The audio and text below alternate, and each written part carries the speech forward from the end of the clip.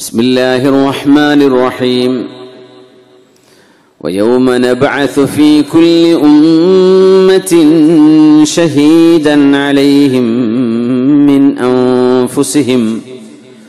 وجئنا بك شهيدا على هؤلاء. ونزلنا عليك الكتاب تبيانا لكل شيء وهدى ورحمة وهدى ورحمة وبشرى للمسلمين. إن الله يأمر بالعدل والإحسان وإيتاء ذي القربى. وينهى عن الفحشاء والمنكر والبغي يعظكم لعلكم تذكرون يوم نبعث അന്ത്യനാൾ ആസന്നമാകുമ്പോൾ ഭൗതിക ലോകത്തെ ജീവൻ ജീവിതം കഴിഞ്ഞ് മരണം പുൽകി ഒരുപാട് നാളുകൾ അദൃശ്യ ലോകത്ത് ഖബറിന്റെ ലോകത്ത് ഭൂമിക്കുള്ളിലായി കഴിഞ്ഞതിന് ശേഷം ഈ പ്രപഞ്ചത്തെ അള്ളാഹു നശിപ്പിക്കുകയും തുടങ്ങിയിടത്തേക്ക് പ്രപഞ്ചത്തെ അള്ളാഹു തിരിച്ചു കൊണ്ടുപോവുകയും ചെയ്യുന്ന ഒരു നേരം.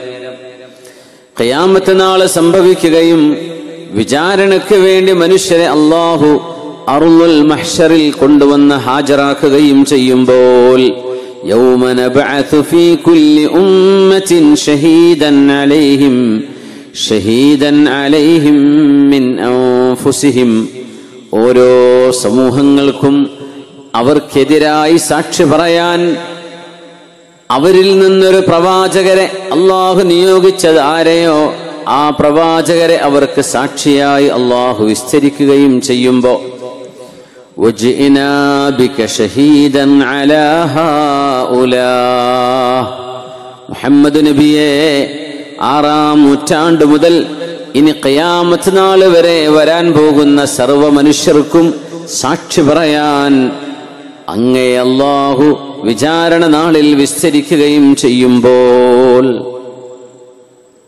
ونزلنا عليك الكتاب تبيانا لكل شيء സംഭവിച്ചുകൊണ്ടിരിക്കുന്നതും സംഭവിക്കാൻ പോകുന്നതുമായ ഭൂതവും വർത്തമാനവും ഭാവികാലവും എല്ലാം വ്യക്തമാക്കി തരുന്ന ഒരു ഗ്രന്ഥം വിശുദ്ധ ഖുർആൻ അങ്ങേക്ക് നാം അവതരിപ്പിച്ചു തന്നില്ലായിരുന്നുവോ? വിശുദ്ധ ഖുർആൻ സന്മാർഗ ദർശനമായിരുന്നു വറഹ്മ. അള്ളാഹുവിന്റെ കരുണയായിരുന്നു. മുസ്ലിമീൻ. അള്ളാഹുവിനെ അനുസരിക്കുന്നവർക്ക് സന്തോഷ വാർത്തയുമായിരുന്നു ആ ഒരു ഗ്രന്ഥം നിങ്ങൾക്ക് നൽകിയിരുന്നല്ലോ നബിയേ. എന്നിട്ട് ജനങ്ങൾ എങ്ങനെയാണ് അതിനോട് പ്രതികരിച്ചത്? അവരുടെ റിയാക്ഷൻ എന്തായിരുന്നു? ജനങ്ങളുടെ ഖുർആാനിനോടുള്ള റെസ്പോൺസ് എന്തായിരുന്നു? എന്ന് പരിശോധിക്കുവാൻ അവർക്കെതിരെ സാക്ഷി പറയാൻ പ്രവാചകരെ തിരുമേനി അങ്ങേ നാം വിസ്തരിക്കുകയും ചെയ്യുമ്പോൾ. ഇത് പറഞ്ഞിട്ട് പറയുന്ന ആയത്താണ്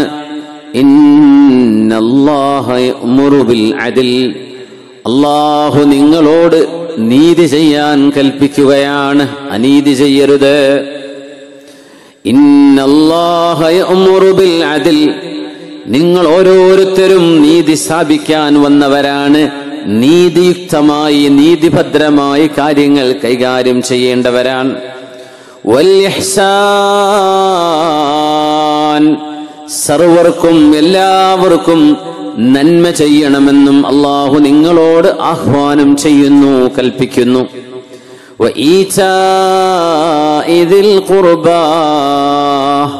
നിങ്ങളുടെ ബന്ധുക്കളെ നിങ്ങൾ നോക്കണേ സംരക്ഷിക്കണേ അവർക്ക് നിങ്ങൾ നൽകണമേ എന്നും അള്ളാഹു നിങ്ങളോട് കൽപ്പിക്കുന്നു. മൂന്ന് വിഷയങ്ങൾ. ഒന്ന് നീതി ചെയ്യാൻ. രണ്ടാമത്തേത് എഹ്സാൻ എല്ലാവർക്കും എല്ലാറ്റിനും സർവതിനോടും സ്നേഹവും കരുണയും ദയാവായ്പും വാത്സല്യവും തലോടലും കരുതലും സർവ മനുഷ്യർക്ക് മാത്രമല്ല ജീവജാലങ്ങൾക്ക് പോലും നീതി ചെയ്യാൻ അവരോടൊക്കെ നന്മ ചെയ്യാൻ അള്ളാഹു എന്നോട് നിങ്ങളോടും കൽപ്പിച്ചിരിക്കുകയാണ്. ഇഹ്സാൻ ചെയ്യണം. ഇവിടെ നീതിയല്ല ദുൽമല്ല ചെയ്യേണ്ടത്. അതിക്രമമല്ല വേണ്ടത്. മനുഷ്യനെ തല്ലി കൊല്ലുകയല്ല വേണ്ടത്. മനുഷ്യന് ജീവൻ കൊടുക്കലാണ്.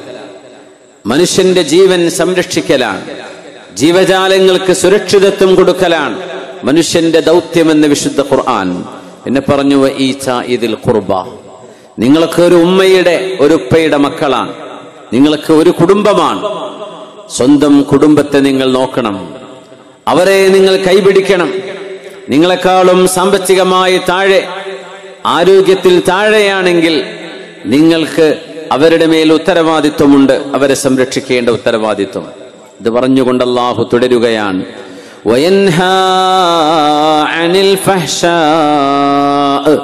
അള്ളാഹു നിങ്ങളോട് നിരോധിക്കുകയാണ് അരുത് എന്ന് പറയുന്നു. അനിൽ ഫഹ്ഷാ. തിന്മകൾ ചെയ്യരുത്. മദ്യപാനവും വ്യഭിചാരവും അനാശ്വാസ പ്രവണതകളും മയക്കുമരുന്ന് ലഹരികൾ മോശപ്പെട്ട കാര്യങ്ങൾ വൽ മുൻകർ. മനുഷ്യ ബുദ്ധിക്ക് തന്നെ തിന്മയാണെന്ന് തോന്നുന്ന എത്രയോ തിന്മകൾ. സ്വതസിദ്ധമായ മനുഷ്യന്റെ പ്രകൃതം പോലും മറച്ചു പോകുന്ന തിന്മകൾ. അത് ചെയ്യരുത്. മോശപ്പെട്ട വാക്കുകൾ പറയരുത്. നിങ്ങൾ ആരും ആരോടും അനീതി ചെയ്യരുത്. ആരും ആരെയും അതിക്രമിക്കുകയും അരുത്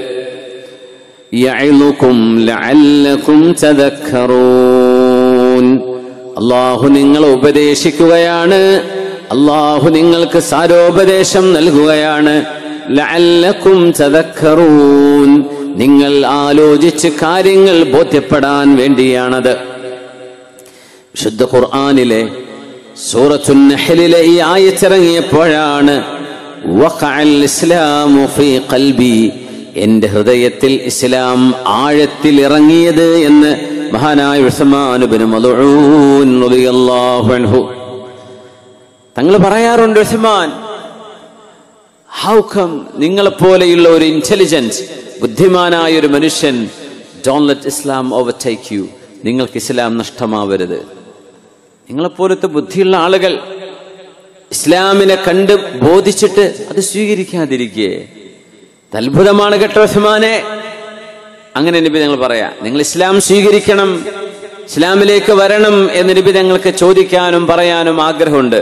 പക്ഷേ തങ്ങൾ സൂചിപ്പിക്കുകയായിരുന്നു സമാൻ എന്നവരെ കാണുമ്പോഴൊക്കെ സമാനുബിന് മധുഴൂൻ എന്ന സുഹാബിയെ ആ സുഹാബി പറയാ അള്ളാഹുവിന്റെ ഈ വചനം മൂന്ന് കാര്യങ്ങൾ നിങ്ങൾ ചെയ്യണം മൂന്ന് കാര്യങ്ങൾ നിങ്ങൾ ചെയ്യരുത്. എന്നിട്ട് അള്ളാഹു അവസാനം യഅ്ലുക്കും ലഅല്ലക്കും തദക്കറൂൻ അള്ളാഹു നിങ്ങളെ ഓർമ്മിപ്പിക്കുകയാണ്. നിങ്ങൾക്ക് ഓർമ്മ വരാൻ. നിങ്ങൾ ചിന്തിക്കണം. നിങ്ങൾ നന്മ ചെയ്യണം നീതി ചെയ്യണം. നിങ്ങളുടെ കൂടപ്പിറപ്പുകളെ നോക്കണം. മൂന്ന് കാര്യങ്ങൾ കൽപ്പിച്ചു. പിന്നെ പറഞ്ഞു നിങ്ങൾ തിന്മകളിലേക്ക് പോകരുത്. ആശാസ്യമല്ലാത്ത ഒന്നും നിങ്ങൾ ചെയ്യരുത്. അനീതിയും അതിക്രമവും നിങ്ങൾ ചെയ്യരുത്. മൂന്ന് കാര്യങ്ങൾ. അള്ളാഹു ഉപദേശിക്കുകയാണ് നിങ്ങൾക്ക് ഓർമ്മ വരണം ഓർമ്മപ്പെടുത്തലുകൾ വിശ്വാസികൾക്ക് നല്ലതാണ്. അവർ റിമൈൻഡർ വരുമ്പോൾ അവർ ചിന്തിക്കുന്നവരാണ് സ്വയം തിരുത്തുന്നവരാണ് എന്ന വിശുദ്ധ ഖുർആാനിന്റെ ഈ ആയത്തിറങ്ങിയതിൽ പിന്നെയാണ് ഇസ്ലാം മഹാനവറുകളുടെ കൽബിലേക്ക് ആഴത്തിൽ ഇറങ്ങിയത് എന്ന് മഹാനായ ഉസ്മാൻ ബിൻ മദ്ഊൻ റളിയല്ലാഹു തആല അൻഹു.